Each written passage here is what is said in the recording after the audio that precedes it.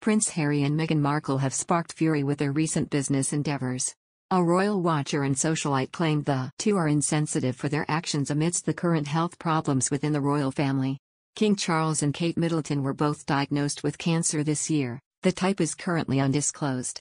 They are going through treatment for their diagnoses, and Harry and Meghan's business ventures coincidentally occurred around the same time as Kate's health issues. The Mirror US Since Harry and Meghan signed a reported $100 million deal with Netflix in 2020, they've released three docuseries Harry Meghan, Heart of Invictus, and Live to Lead.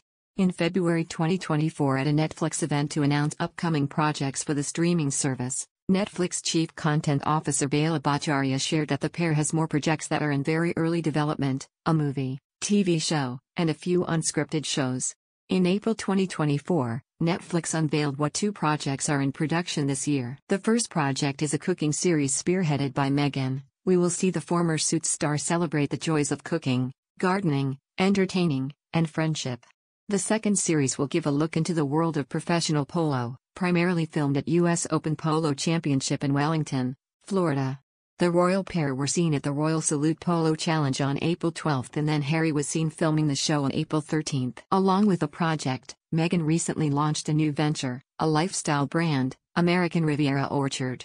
According to the trademark filing application, the brand will sell home decor, kitchen utilities and a range of spreads and preserves including jellies, jams and nut butter. Meghan sent American Riviera Orchard, branded jars of strawberry jam gift baskets to 50 friends and celebrities.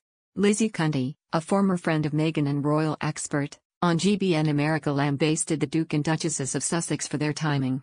Lizzie claimed that Meghan is not reading the room and is attempting to re-establish herself as a Gwyneth Paltrow type. She continued by saying all Harry and Meghan's business ventures are not really relatable. I think it's pretty insensitive when Catherine's, Middleton, going through what she's going through and the king is going through his cancer issues too, it's really insensitive, to be honest, she went on to allege that the pair don't realize how ridiculous they're coming across, adding, they're so into themselves they can't see the wood for the trees. Lizzie had scathing words for Meghan and her lifestyle brand specifically the jams calling them fake, phony and cheesy. The socialite said Meghan need to consider what you've actually done to poor Kate and insisted people are sick to death of her across the pond. Meanwhile on April 18 at the Broadway opening of Suffs in NYC actress Melissa McCarthy defended pal Meghan against all the criticism and hate she's received to page 6.